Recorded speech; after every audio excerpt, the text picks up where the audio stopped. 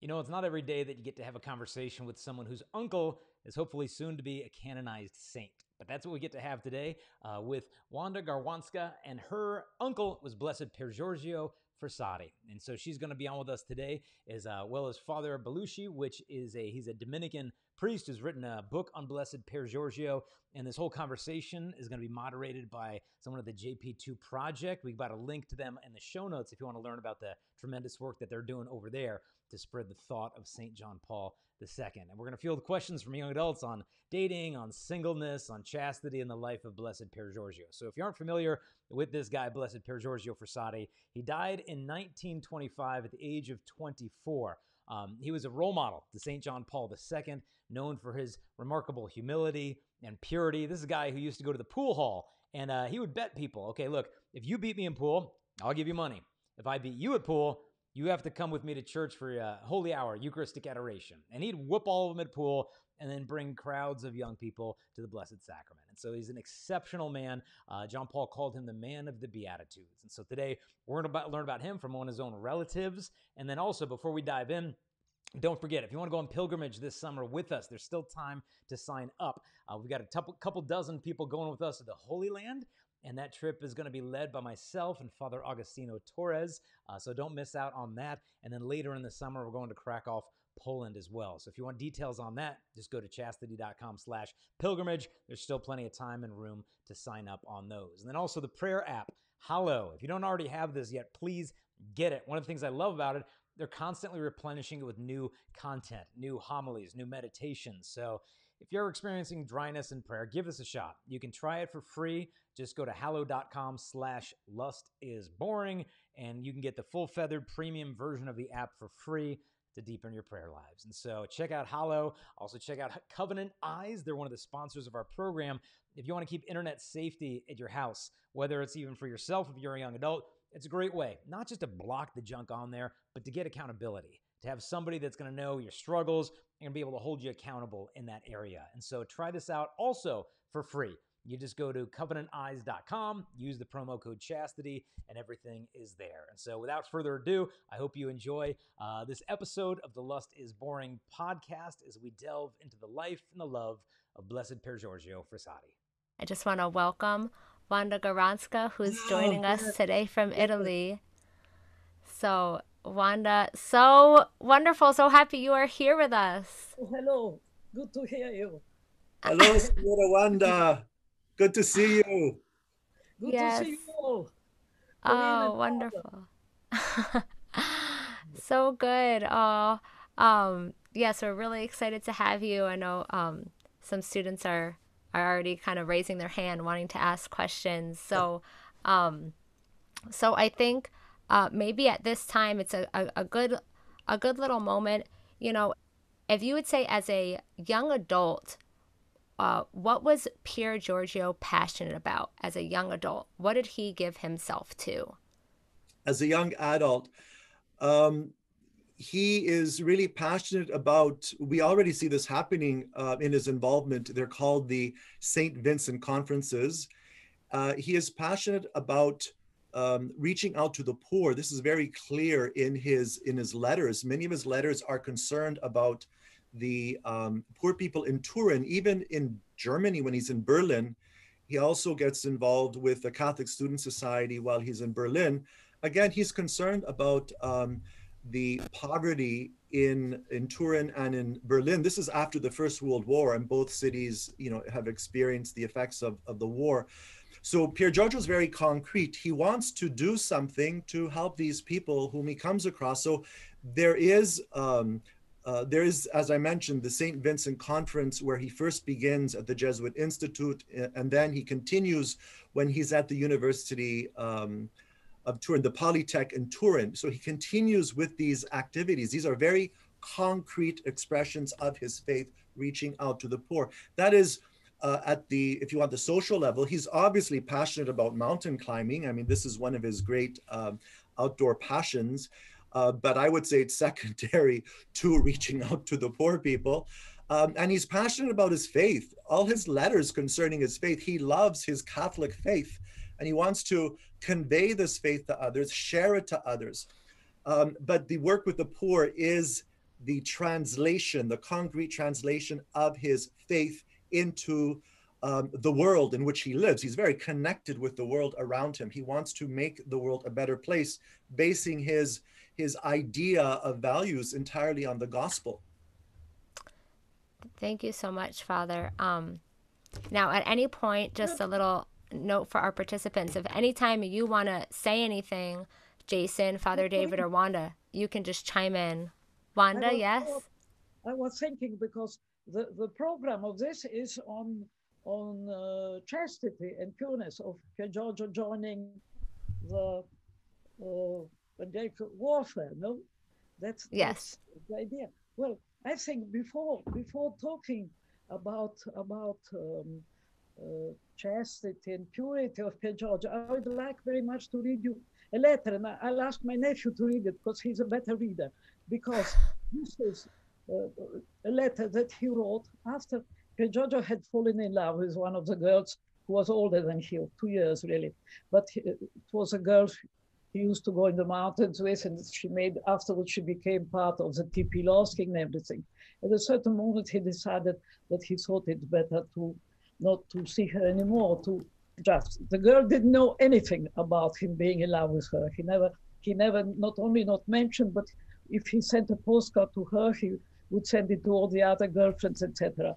But I think it's very important to read this letter that he wrote to a friend the moment he decided he wouldn't see her anymore for some time. He thought he would kind of close his his own feeling because she didn't know anything mm. about it.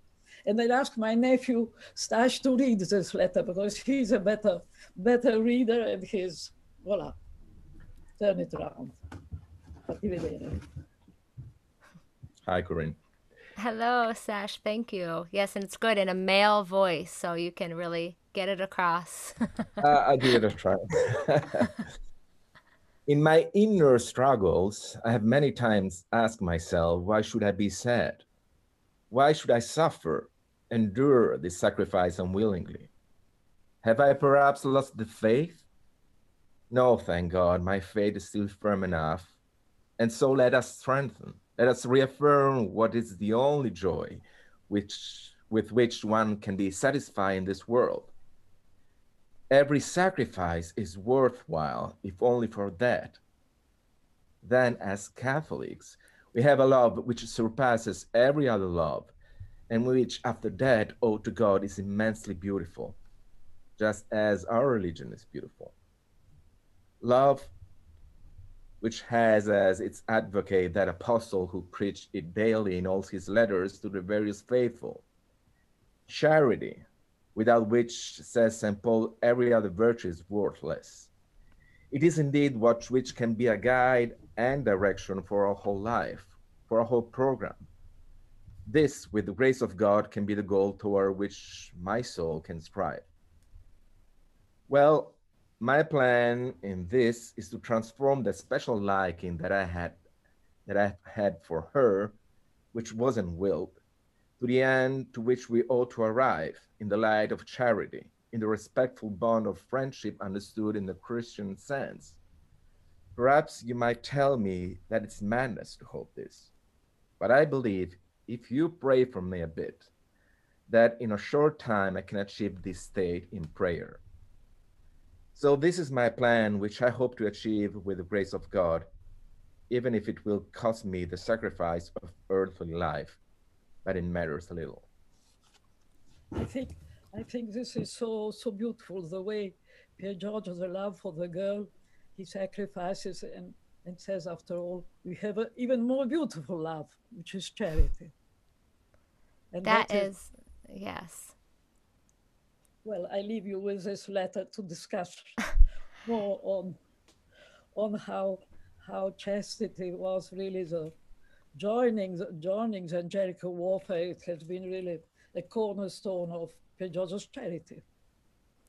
Yeah, that is so good. So um, here you have this young person um, who, you know, here he's on this pedestal of being a blessed as we know him now, but he was a young adult with same feelings, same struggles um, that that any young adult goes through, that young people go through, and here he is. He has totally fallen in love with this girl. For those of you who maybe don't know the background story, he's totally fallen in love with this girl, um, but not to get into the reasons here why, but basically decides to not pursue this relationship with her.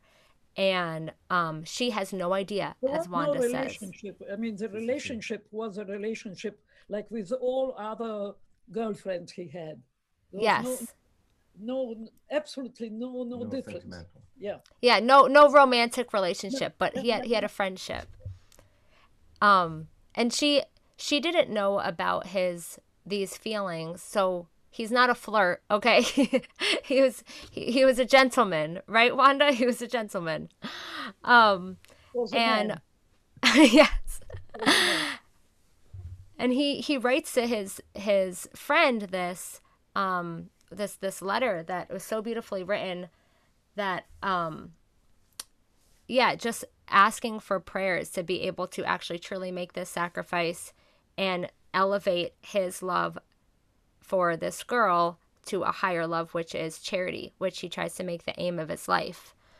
Um, so, uh, yeah, maybe this is a good opportunity before we get into uh, Pier Giorgio's chastity and connection with with charity maybe jason it would be good to hear from you um to give us you know you're the chastity guy right? So give us a little insight into chastity and you know people have it's like this awkward topic um to someone who really doesn't maybe know much about it. So like what can you tell us about chastity in connection with the whole person Well, I, I think the question that we initially led into, what is Pier Giorgio passionate about, um, was kind of the key to how he practiced chastity. I think what Pier Giorgio was passionate about was others. It, it wasn't all about him. And his lack of selfishness is very much a root of his joy. I was reading earlier the one of the letters he wrote regarding this young woman, Laura, and look at the love that he had for her. I'll just quote him here. He said, She is whom I loved with a pure love. And today, in renouncing it, I desire her happiness. I urge you to pray that God gives me the Christian strength to bear it serenely, and that He gives her all earthly happiness and the strength to reach the goal for which we were created. Thus, she will always be for me a good friend who, having known her in the most dangerous years of my life, will have helped me uh, to keep on the right path toward the goal. And then elsewhere, he said, um, I love this quote. He says, "In the earth, in this earthly life, after the affection for parents and sisters, one of the most beautiful affections is that of friendship. And every day I ought to thank God because He has given me men and lady friends of such goodness who form uh, for me a precious guide for my whole life." And so here's this woman just by pursuing God on her own, probably doesn't even realize the impact she's having on him of keeping him on the right track, on keeping his eyes on God. And this quote that one of the most beautiful forms of human affection is friendship. And so friendship and that love for the other is really at the root of chastity. I mean, you see his desire for her, her goodwill. All I want for her is all earthly happiness and even the happiness that goes beyond this world. And so that love that he had for others is what gave him the capacity to practice this virtue of chastity. Now, chastity is not simply mere abstinence or the lack of sexual activity. Chastity is the ordering of our sexual desires according to the demands of authentic human love. And so, whether you're a priest, celibate, widow, 20 years old, 50 years old, all of us are called to practice this virtue. Now, we all have, you know, different desires and temptations. And God's not telling us that, like, oh, we're bad for desiring intimacy or all these things. No, it's just that we need to take these desires, give them to God, and ask Him to order them so we can be free to love. Because if I'm being controlled by my passions, I'm not free to love.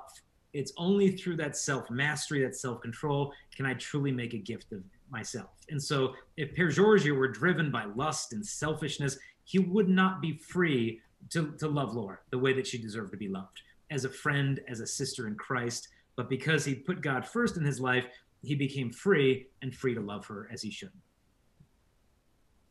Yeah, that's so beautifully put and really brings a lot of clarity.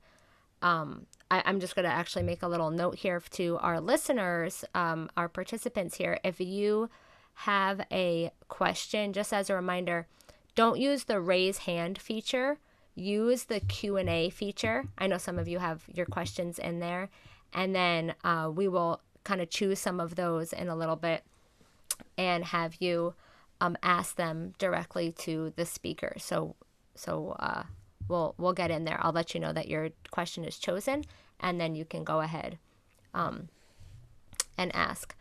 Um, but okay, so now it'd be interesting to know if Pier Giorgio here we're talking about him as somebody who I love how you put that, Jason. How he was not interested in himself. Like the connecting key is that he was selfless and it wasn't inward.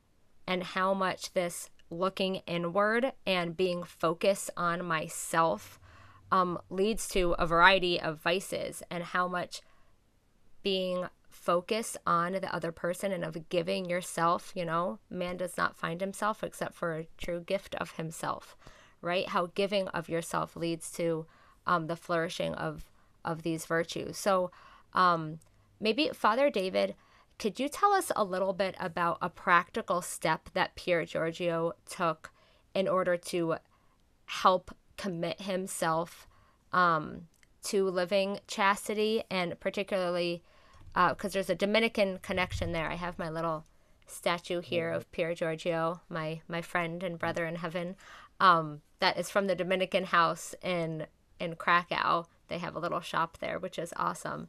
Um, and so, Father, you being the Dominican, maybe you can tell us, um, sort of in a just just briefly, just kind of explain that as this is the hundred year anniversary of of his involvement with the Dominicans. So go ahead, Father. Right. So this is in um, you mentioned concrete step in 1921. In 1921, uh, he already knows the Dominican chaplain where he's studying at the uh, Turin Polytech, Father Filippo Robotti.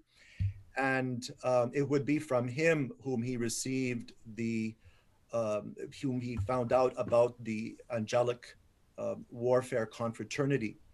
So, uh, in fact, what's interesting is that Pier Giorgio's interest in St. Thomas Aquinas normally people who get to know St. Thomas will be, first of all, uh, drawn by the Summa Theologiae, for which St. Thomas is well known. But in the case of Pier Giorgio, what drew him to St. Thomas was actually the cord.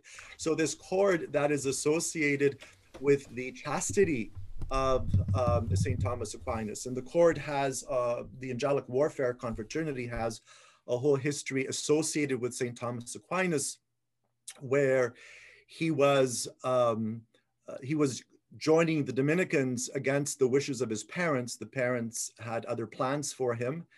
And um, they tried to, the mother, Theodora, tried to have him abducted by his brothers.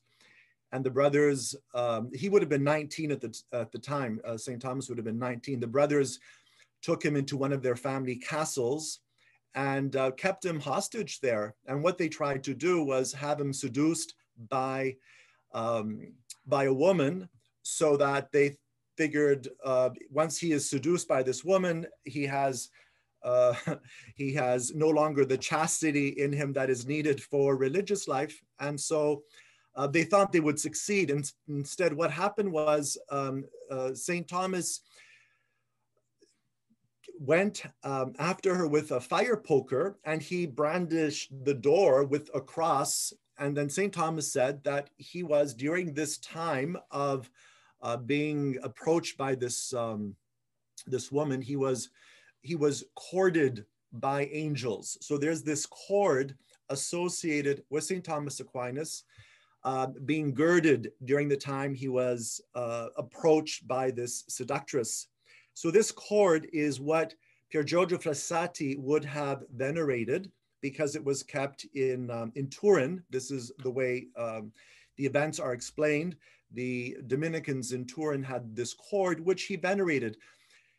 And this is mentioned by uh, his sister, Luciana, uh, Luciana, as well as a friend of his, uh, Franz Massetti. They both make reference to the devotion Pier Giorgio had to this relic of Aquinas. So he got to know really the Dominicans um, through St. Thomas and specifically this cord that is a cord that uh, is there as an expression of chastity right being chaste and so he joins the angelic warfare confraternity as a result of this uh, this relic really uh, that represents chastity of St. Thomas Aquinas.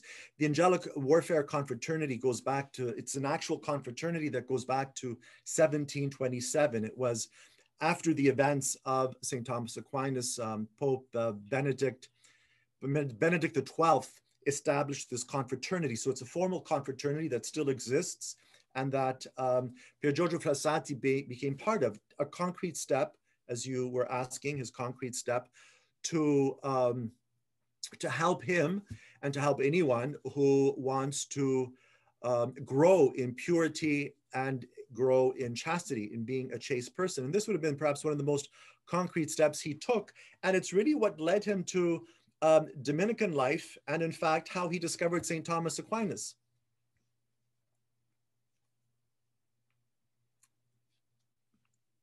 Sorry, I was muted there. Thank you so much for for sharing, Father.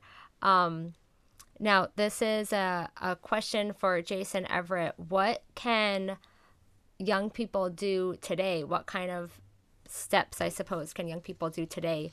Um, do we need to be getting fire pokers? What, what do we need to do? if there's a fireplace on hand and, and, a, and a hot fire poker, those work pretty much 100% of the time. But if you don't have a fireplace handy, uh, there's some other things that fall back on. Um, you know, again, going to Pier Giorgio, like where did he say we should go for the grace to get pure? There's another quote I just want to share from probably my favorite quote of his, where he says, With all the strength of my soul, I urge you, young people, to approach the communion table as often as you can. Feed on this bread of angels, whence you will draw all the energy you need to fight inner battles. Because true happiness, dear friends, does not consist in the pleasures of the world or in earthly things, but in peace of conscience, which we have only if we are pure in heart and mind. And so he doesn't say, okay, well, you just need to try harder and do more. And that it's no, you get this from the bread of angels. This is where the angels go. This is where we need to go. We need to approach that altar as often as possible. You know, he'd get up early in the morning to, you know, jog up the hill to go to mass, you know, before his family was even aware. And I often say that daily mass is really only for people who have nothing better to do, um, which is all of us, because there is nothing better to do than the sacrifice of the Mass. There's nothing more important in our day than that moment. I had read the life of one saint, and he said every action he does during the day is in preparation for his next Holy Communion. So that's how he oriented his whole life. All I do today is going to be ordered to get ready for that next Mass. And so that Eucharistic spirituality of Pier Giorgio was lived out in his life. I mean, here's a man who literally lived the Mass. This is my body given up for you.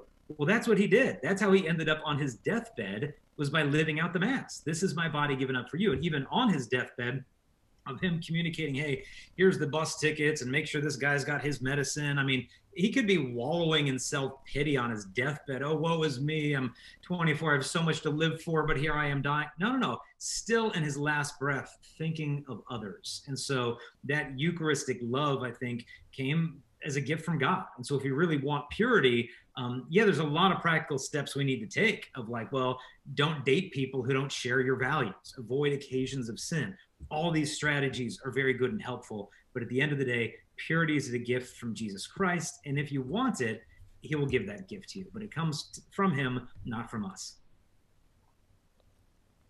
That's awesome. Thank you so much, Jason. Wanda, um, here we've been, you know, talking about Pier Giorgio and, and and his connection and seeing him as a as a model. Is there anything that you um, want to add or comment on on what Jason had just shared? Um, no, I think he I think he said it very beautifully and and very well. This is this is I don't know. I think I think uh, Giorgio he was obviously he had temptation like everybody else, but I think he had no. He's, he was so living with Jesus, so in love with Jesus, and everything he did was so following his love of Jesus that I think the chastity thing was a problem for him, but it was not a not a spiritual problem. he had no, no, no, there was no discussion on it for him. I mean, that was. It was clear. um, well, before we get into some questions here, um, I just want to remind people. So we're gonna open it up for questions. Um, and I can, I will let you know, and I'll make what I will do. Make sure that you are unmuted on your end, and I will allow you. I'll click. I have to like click a button to allow you to speak. Um, so if you'd like to ask a question, if you have questions for any of them, um, I am, you know, just put it in the question and answer that little Q and A chat, and then I will let you know. Um, and kind of before we get into that, uh, Jason, do you have um, anything to say about? There's a lot of young people that I speak to who have this desire to be a saint. They get inspired, um, but they struggle with mastering the chastity issue here. Um, w- what can you say about that? I would say young people who are struggling. Hmm. Yeah, Go ahead. I would say a couple things to keep in mind is that chastity in and of itself is not the barometer of your entire spiritual life. You know, a lot of people think, okay, as long as I get that perfect, God really loves me. And wait a minute, I messed up and I looked at pornography once last one. Oh, God hates me. And like their whole spirituality hinges on that one virtue. And obviously, it's an important one. I mean, blessed are the pure in heart, they are going to see God.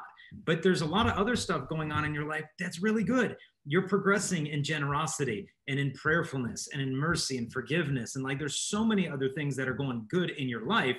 Don't be overly despondent if you fall in this area. Sometimes God lets us experience our weakness on a chronic level so that we can realize our utter dependency upon Him.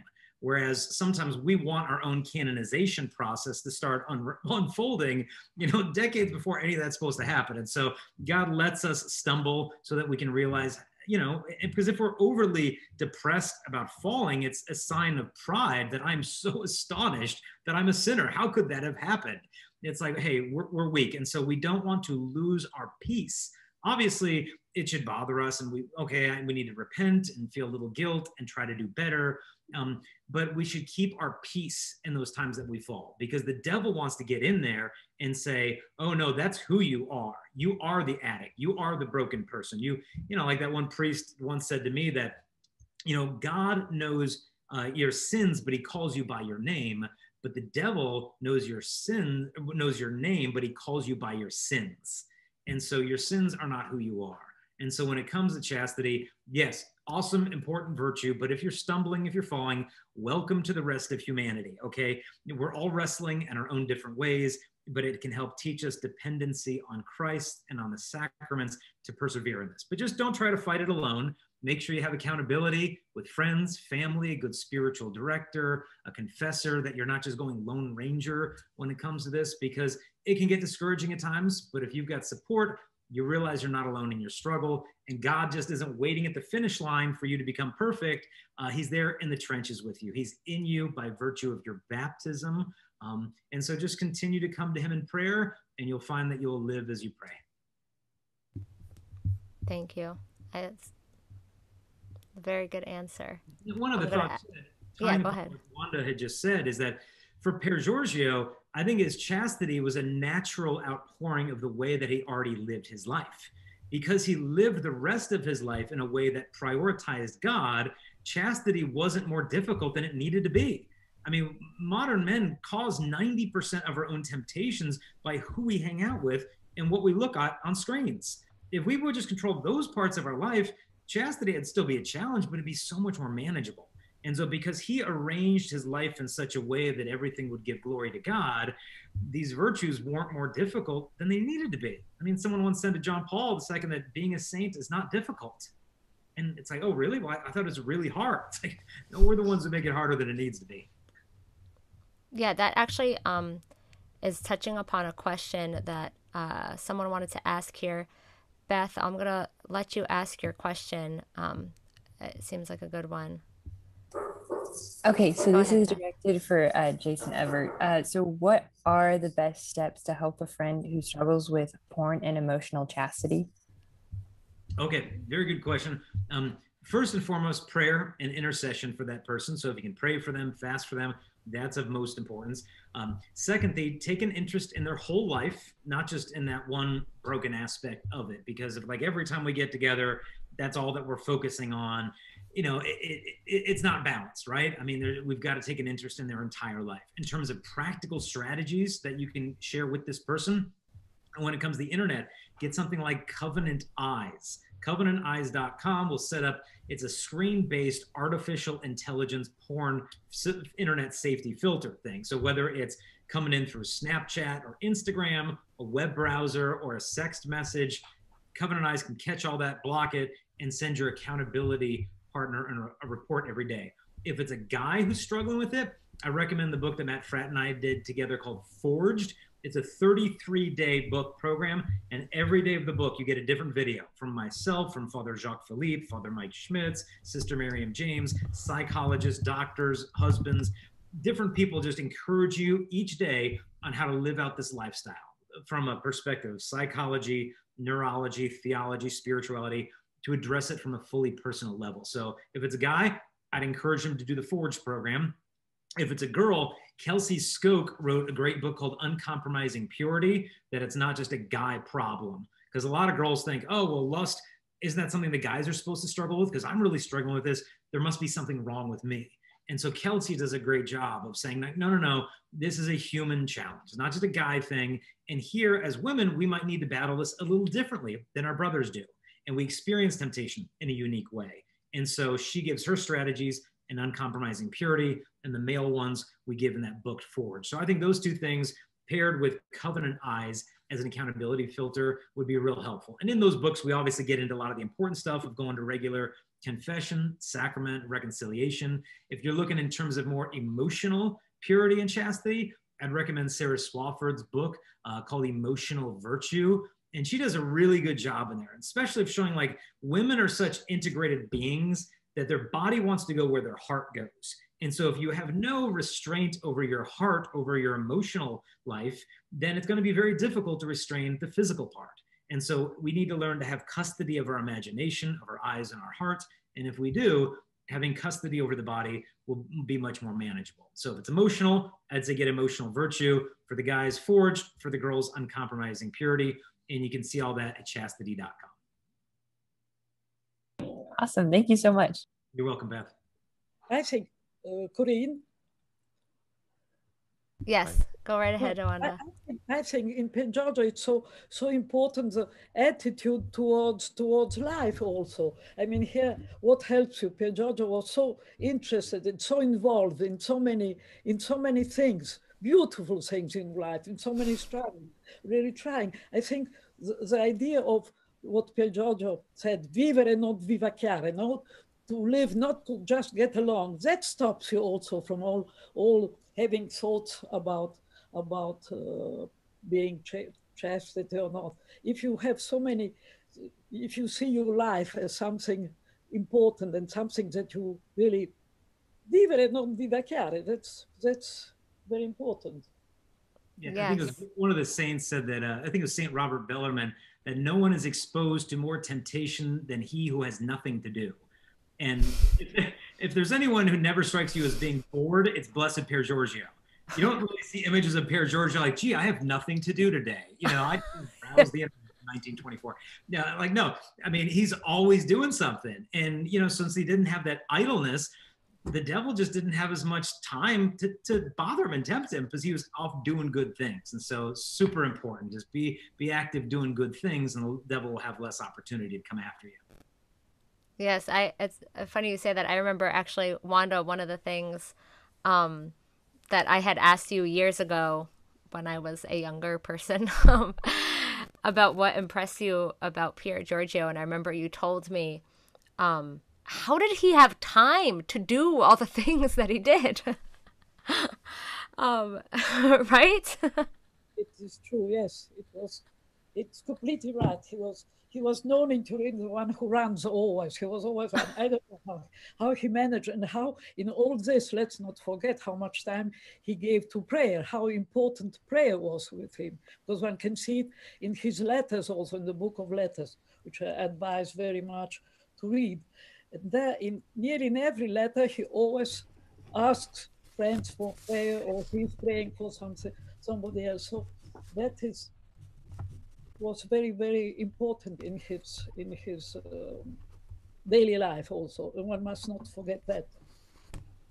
Yeah how convicting that is. It's not just that he was this activist that did a ton of things um, at the heart of what he gave his life and his time to was prayer which is so so convicting and so um, such a guide for all of us who are trying to to work for the lord to prioritize prayer somebody said that Joe was telling me recently, my husband, about, um, or maybe it was George Weigel that said how John Paul II, he prayed things into being. Um, so when you look at these people who have fruitful lives, it was an overflowing, it was a manifestation of their prayer.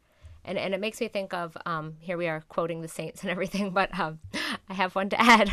Uh, of Saint, I think it was Ignatius of Antioch who said, "The glory of God is man fully alive, and how we see that in Pier Giorgio and how I've seen that in in the young people that I have worked with. Um, and it is it is so beautiful to see. Um, so there is um, Sylvia had a question. Sylvia Marks. Um, I I don't know if you saw my response to you saying that you can go ahead and ask uh, one of your questions there. So I'm gonna allow you to speak if you want to go ahead, Sylvia if you can unmute yourself. If not, I'll ask a que- I'll ask your question for you. If you have a little issue getting in. Um. All right, let's see here, Sylvia. So, okay, maybe she's having a hard time um, getting here, but she actually had a question. Um, I think it looks like it's directed towards Wanda. She wanted to know um, what's the status of Pier Giorgio's canonization? It's for Pier Giorgio's can- canonization. What is necessary? It's an approved uh, miracle. I think there are different different miracles that one hears around the world, etc. But but uh, it needs studies and uh, approval. So we must pray for the miracle. okay, all, great. All is necessary for being. But I think he's already a saint, you know, because if a, say, a great saint like John Paul II, as a cardinal called him, man of the Beatitudes, what what can be, what more, more can you say about being a saint and being the man of the Beatitudes? And then he said, although he is not yet at the altar, he's a patron of the academic youth. He said he died young as young people, as saints die. I mean, he, he canonized him and he's being a saint, so I consider him a saint. See. Oh, yes, yeah, t- definitely. And didn't he? I mean, he, didn't John Paul II go to the tomb of Pier Giorgio when he was a pope before he had beatified him? Yes, he came. He came to Pollone to pray. It was beautiful. He came to Pollone to pray at the tomb of Giorgio, which was Giorgio at that time. Was a beatification beatification was not decided yet because the miracle hadn't been approved. And, and John Paul II came and uh, prayed for 20, 25 minutes. He prayed on the tomb of Giorgio. It was incredible. And he was so happy that day. And there he said that the first time that he said himself, because people said that Pier Giorgio has been an example for him when he was young, etc. But there he himself, he said, me too, when I was young, I was under the impression of his of his um, witness. Wow. That was So- this visit. Yeah, I, and you you were there, right, with your family? Yes, yes, we were there with the family on the tomb. So beautiful. It was beautiful. It was beautiful.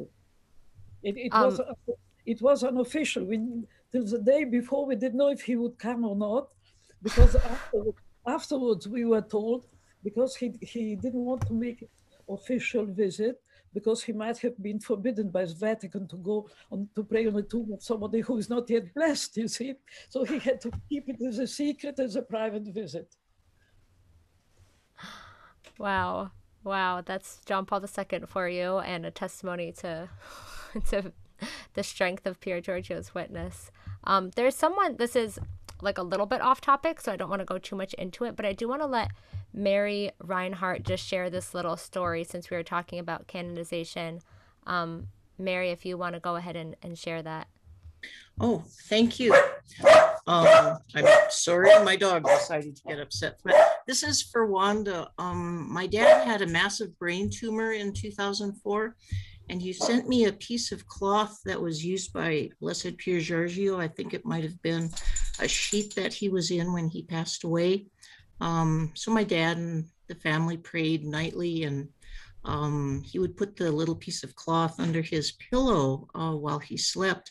And we ended up uh, taking him to um, a cancer institute in Houston, and they were going to do exploratory surgery to find out, you know, what was this brain tumor. And they had to do an MRI before the surgery. And the day of the surgery, um, we were waiting for him to be taken back, and a nurse came out and told us we could go home because the MRI had shown that the um, uh, tumor had gone away. And um, he lived another 13 years. And I just wanted to tell Wanda, thank you very much for sending that to us. Okay. Uh, the tumor has left and, and he's all right? Yeah, he, he, he lived another 13 years. He passed away in 2017. Um, the doctors consider it inexplicable. They, we we explored that, and I think some doctor had said that it was the type of tumor that there was like a 100,000 to one chance that a person could recover. And so I guess it was decided it wasn't an absolute complete miracle, but but my dad always said that it, for him it was a miracle and I appreciate it. Marvelous. Please pray for another miracle. I will. I certainly will. Thank you. Thank, thank you, Mary. That is so beautiful. I'm so glad you you shared that and you sent that in in the messages. Um, I'm gonna pass the microphone to another young person here, Hannah. Um, you should be able to talk. Um, so if you want to ask your question, Hannah, if you can unmute yourself and go ahead and ask your question, um, that'd be great. Hey, hi. Um, I guess I have two questions. Uh, I think this is for Jason. Uh, my first question is like, how can young adults overcome being jaded after so many traumatic experiences and regain their hope and faith in love and in living in general? And then my second question is how can young adult adults who are striving to be saints feel less alone in their journey to live counterculturally? Because mo- most of my childhood friends are now either agnostics or lukewarm Catholics. So I really do feel alone when I'm with them. So should I look for new friends? But I also don't want to abandon my old friends. So uh, what should I do? Thank great you. questions, Hannah. Um, yes, you should look for new friends, but you don't need to necessarily abandon the old ones. And so I would say to only let go of the friends that are really pulling you down and pulling you away from God and leading a life of grace. If they're really pulling you away, then you need to create some distance there. But if you can be a positive impact in their life without yourself getting pulled from God, then you want you want to keep them there, you know, for their sakes. But yes, you need to make active effort to go find good people, whether it's getting involved in your diocesan youth and young adult programs, volunteering for a youth group so you can meet other good young adult leaders, going, you know, getting involved in the pro-life ministry or whatever types of ministries, there might be some other good, devout Catholic young adults because there's so many like you in the culture and you guys just haven't found each other yet. And so you've got to get at because a lot of times we just kind of feel constrained in our social circles. And when it's like, wow, this isn't really how I want to live. This is not what I want to do on a Friday night. I'd like to be doing something else. And so without just wholeheartedly just abandoning all your old friends, start thinking, okay, where can I find more like minded young adults? And a lot of people discover their vocations this way in the sense that they meet another good set, you know, set of guys or girls to hang out with, and they know some other good guys and other good girls. And just through those connections of solid, godly friendships, you can sometimes discover the person God might have planned for you. But, you know, yeah, I would say go look, go try to find and ask God for help. You know, God, help me find the right group of friends because it's so important because you always become like your friends, right? I mean, St. Thomas, or no, who is St. Ignatius of Loyola, his college roommate was St. Francis Xavier. Well, now that kind of helps, doesn't it? And so to go find these good friends, it's super important. Another friend of mine said, uh, friends are like elevators, they either take you up or they take you down. And so you choose which kind of elevator you want to get into. And the second thing, in terms of trying to prevent feeling jaded from the traumatic experiences that you've gone through, one is don't underestimate the importance of getting some counseling, of finding a good Catholic therapist to kind of work through, because sometimes these wounds are, are serious stuff. I mean, I was talking to someone just yesterday who's been through some serious stuff, and they're like, well, you know, I don't want to make such a big deal about it. And sometimes cultures are like that. Well, no, no, if you go to a counselor, it means you're in therapy and you're crazy. And so you don't want to do that. We don't do that in our culture. That's not healthy. You know, that's like saying, oh, well, we don't go to doctors when we break bones. You know, we just live with a crooked arm for the rest of our natural life because that's our culture. That's a broken culture and a broken bone. And so when it comes to the emotional wounds, you want to be able to talk those out, to find a good Catholic therapist. Uh, here in the States, we've got CatholicTherapist.com, which is a nationwide directory of Catholic counselors, and many of them do Zoom, so you can do counseling, you know, that way. And but if it's maybe not as major as something you think might need counseling, talk to friends, talk to families about the things that you've been through, and then just make sure that if you do have a wound, don't infect the wound, so to speak. Meaning, yeah, I've got this thing that happened, but now I'm going to bury it under other mistakes to make the first mistake not look so big. And so we've got to make sure that we're not making the first injury worse by giving up. Because if you say, well, it's not a big deal, it's almost like you're saying you're not a big deal. Don't give up because what you'd be giving up on is, is love. What you'd be giving up on is yourself and God. And so don't let go of that hope. Don't let go of that faith. Don't let go of the hope and love.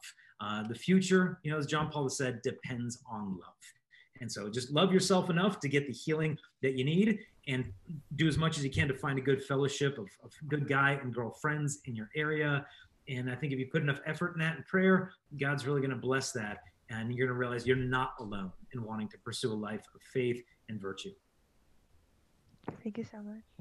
You're welcome. Thank you for asking such a good question, Hannah. Um, that was awesome. So we have a number of good questions, but I know we need to wrap up here. Um, so if you have any last minute questions that you really want to ask, why don't you go ahead and type them in the Q and A to me? Um, and I'm going to let uh, John Rijo here. I'm gonna make you unmuted um, and let you go ahead and ask your question. Um, sorry, here a little technical. So let's see if you can unmute yourself and go ahead. Yeah, hi Jason. Uh, this is for uh, for you. What advice would you give dating couples who are striving to be saints? What are the ways they can cultivate chastity in their relationship? Thank you. So, yeah, so this is for da- an advice for dating couples trying to live chastity, Jason. Okay, and you know, and he had mentioned it's for all of us, so feel free, you know, Father Wanda, hop in as well. But I would say one of the most important things, just when it comes to the practical steps, is don't enter into a dating relationship with someone who doesn't share your values. Because I mean, chastity is hard enough when you both agree with it. It's going to be a lot more difficult if you choose someone simply because of what they look like, and then a couple months into the relationship realize, oh wow, we really don't agree on some major spirituality and, and morality questions. And so, make sure you have an adequate foundation of friendship first and then you really get to know this person. Like is this the type of person that i'd want to spend the rest of my natural life with? Is this person pursuing virtue? Does this person bring out the best in me? You know do, do they want do they encourage me to lead a godly life? And if the answer to those questions is no then you have no business dating this person whatsoever. And so yeah i, I remember meeting one woman. She was a I think it was Miss Black California, this or that. She was on some TV show and they interviewed her and they said, Wow, wow, you're still a virgin, you know, at the age of 24. That must be really hard. How hard was it to save that for marriage? And she's like, uh, it, it wasn't hard. And I'm like, but you're an international beauty pageant star. It must have been difficult. It's like, no, I just don't date the wrong guys. You know, I only date a guy who's worthy of me, you know, and, and a man of God. And if he's not, then I'm not going to date him. So I don't need to make it that hard on myself. And it was such a fresh perspective of like, okay, it doesn't need to be super difficult. We just need to use a lot more prudence and wisdom and, and making it easier on ourselves. So I don't know, Wanda, if you had any other thoughts on how a person can embrace and practice the virtue of chastity um, and live that out in their life as a young adult? I, I, I keep thinking that one must be involved, find other, be very much involved in, in life and what's happening, etc. I think Pier Giorgio, this was also, and then very important for Pier Giorgio was his his uh, devotion to Virgin Mary and certainly Rosary having always a rosary in his pocket. And uh, but I think most of all, really, really to find find this world. There are so many fascinating, interesting things you can be involved with, and follow it and follow Jesus. I think Pier Giorgio for me is such an example how faith, to the contrary, what one says, how faith gives freedom. And Giorgio said freedom is the greatest gift that God has given to man. It was freedom.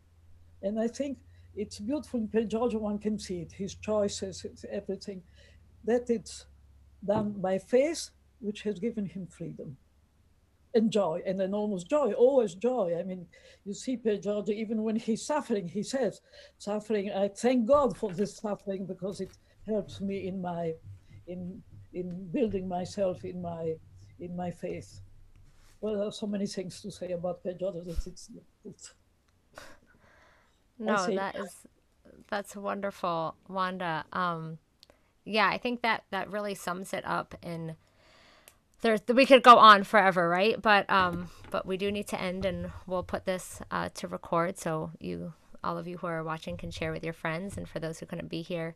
Um, but yet, to sum up, living this full life, um, is what has come out as a theme in in this discussion today living a, a full life and engaging in all that is beautiful and good and giving of yourself and jason's brought it up wanda's brought it up it doesn't need to be so so difficult um, that doesn't mean that if it's difficult there's something wrong um, the struggle is real like this it's it it can be difficult to live virtues. We can have deep wounds, some that need to be addressed in a deeper way. Um, we shouldn't be afraid of our weaknesses, but just to bring them to the Lord, um, bring them to people who can help, engage in resources that can help us, but also just engaging in a in a good full life of giving of ourselves can really be um, the foundation to living a, a saintly life that where your heart is free and you can live this joy that we see in the saints, such as Pier Giorgio. Um, so, you know, what we'll do after this webinar is we will send you um, not only a link to this, but also some resources um, to further you and to support you in your path to sanctity. So, uh, you know, Jason has chastity.com. There's a lot of resources on there. You can get connected to his podcast, Lust is Boring, through that. Um, and there's that upcoming uh, Love Life conference as well. Um, that will really feed your soul in a lot of different ways. Um, there's also frassatiusa.org for those in the States um, as one of the, uh, as a website that has a lot of information about Pier Giorgio and getting to know this saint. I totally recommend getting to know him as a friend and, and a, a brother. Um, that can really help you on your journey. He has certainly been that for me. I could really go on, but I, I'm, you know, I'm, I'm just the host. I'm not a speaker, so I'll spare you all. Um, and then Father David's book, of course, Pier Giorgio, Truth, Love, and Sacrifice. Um, and of course, the, but that's a new book. Um, I'm really excited to read that. I'm excited to be giving that away. And then also um, the books that Wanda's mother has written. She was Pier Giorgio's sister, so it was a brother and a sister, and she was his sister, and she um, was the one who really took it upon herself to spread Pier Giorgio's legacy. And then later on in life, Wanda had started helping you started helping your mom right and then that that became part of your life mission as well um, so there's the book man of the beatitudes. Um, there's a book about his last days and there's his letters um, that were referenced a few times the book about the, the letters of Pier Giorgio which are so beautiful and, and awesome.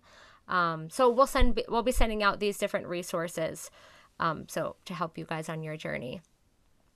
So thank you so much. Um, maybe Father David, if you could close us in just a little prayer and a blessing for all of those who are participating, we'd be so grateful.